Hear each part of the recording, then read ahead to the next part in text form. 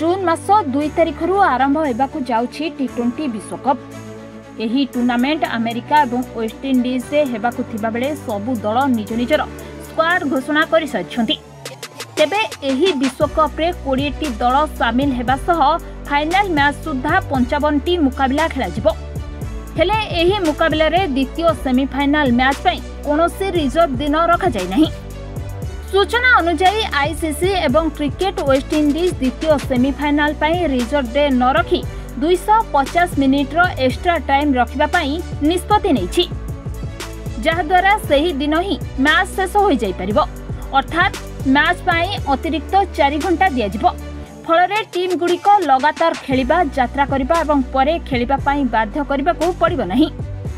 ପୂର୍ବରୁ ଯେକୌଣସି ଟିମ୍ ପାଖରେ ଫାଇନାଲ୍ ମ୍ୟାଚ୍ ଆଗରୁ ଯାତ୍ରା ପାଇଁ ଗୋଟିଏ ଦିନ ରହିଥାଏ କିନ୍ତୁ ଏପରି ସ୍ଥିତିରେ ସେମିଫାଇନାଲ୍ ଏବଂ ଫାଇନାଲ୍ ମଧ୍ୟରେ ବହୁତ କମ୍ ସମୟ ମିଳିବ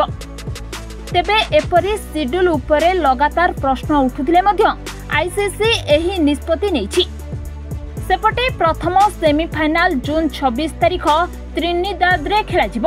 ଏହା ସ୍ଥାନୀୟ ସମୟ ଅନୁଯାୟୀ ରାତି ଆଠଟା ବାଜି ତିରିଶ ମିନିଟ୍ରେ ଖେଳାଯିବ ତେବେ ଭାରତୀୟ ସମୟ ଅନୁଯାୟୀ ଏହା ସକାଳ ଛଅଟା ବେଳେ ହେବ ଆୟୋଜକଙ୍କ ଦ୍ୱାରା ପ୍ରଥମ ସେମିଫାଇନାଲ ପାଇଁ ରିଜର୍ଭ ଡେ ରଖାଯାଇଛି ଯଦି ଏହି ସ୍ଥାନରେ ବର୍ଷା ହୁଏ ତେବେ ମ୍ୟାଚ୍ ପରଦିନ ଅର୍ଥାତ୍ ଜୁନ୍ ସତେଇଶରେ ପୁରା କରାଯିବ ଅନ୍ୟପଟେ ଦ୍ୱିତୀୟ ସେମିଫାଇନାଲ ଗୁୟାନାରେ ଖେଳାଯିବ ଏଠାରେ ସ୍ଥିତି ଟିକିଏ ଅଲଗା ରହିବ